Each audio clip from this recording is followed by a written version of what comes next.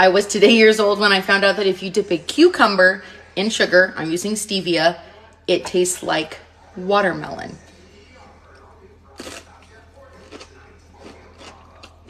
What in the hell?